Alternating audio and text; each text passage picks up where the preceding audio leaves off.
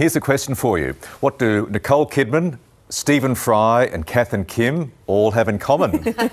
They've all given absolutely ringing endorsements to the latest work of fiction by our next guest. The wonderful Kathy Lette has written her new book, The Revenge Club, in the hope it will kickstart conversations about the ongoing impacts of sexism and ageism. And she joins us now in the studio, and we're very excited. Thank Great you for that see Great to you. lovely intro. I'm back on my favourite sofa. make I love it comfortable. here. We should my have a natural pot of tea, habitat. we should. We should, yes. yeah. The Vegemite on toast. That Yes. would be good. Australian penicillin. Yeah. Oh, it is. yeah. no, it never fails. This is your 20th book. 20. Well, I only write because it's cheaper than therapy. if I didn't write, I'd be lying on some shrink's couch. It's hard to get a therapist these days. Oh, too, right. yeah. Okay. Uh, what, what about it is therapeutic for you?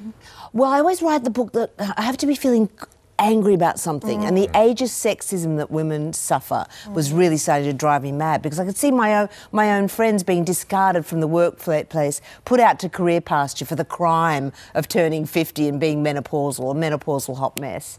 I mean, for example, the sexism. Look at you, Michael. How old? Can I ask how old you are? I'm 55. 55. So, okay, well, I'm 65, but you, you're like a, a silver fox, whereas I'm an old crone, a hag, oh, a hardly, bag. hardly. You know, you never hear men dismissed as No. mutton dressed as ram.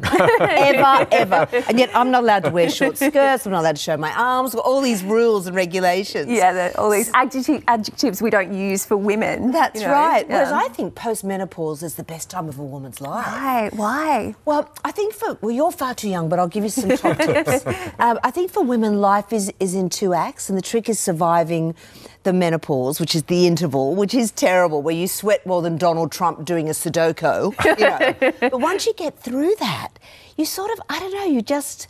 You no longer care what people think about you. You know, women are brought up to be decorative and demure, and we know that when a woman and man start, start talking at the same time, the woman usually pulls back. Not me, obviously, but the post-menopause, you just no longer care. You don't feel that judgment anymore. So you've got the wisdom and the confidence, and, and it's liberating. And also, you know, period cramps, no pregnancy scares, you've got all that tampon money to spend. Woohoo! but whenever I read books about women my age, they're always sort of alone in their flats, you know, wilting from loneliness and trying to get eaten by their cats.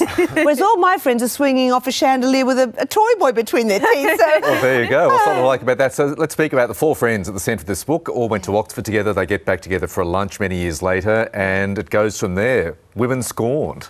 That's right. Well, they, they meet up for lunch. They haven't seen each other since university. One of them is Australian, obviously, the main character.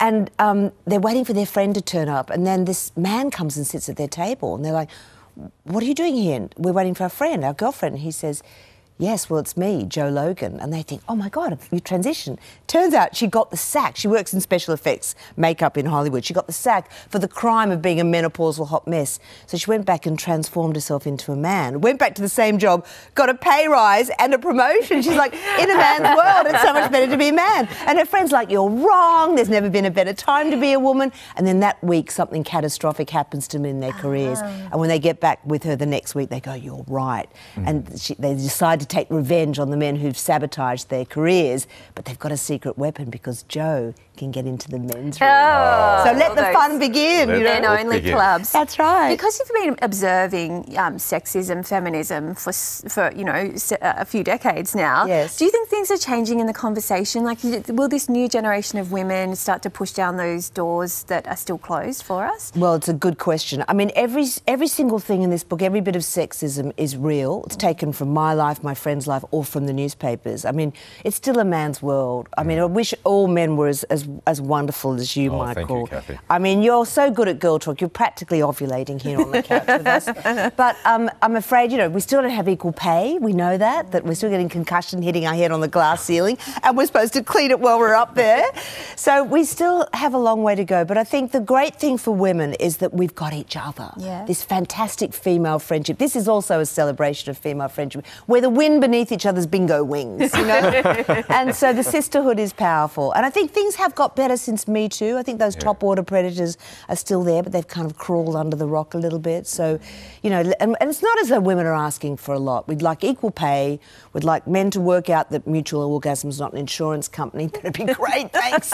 and we'd like them to help more around the house. So, Yeah. you know, the way to a woman's heart is through her stomach. That is not aiming too high.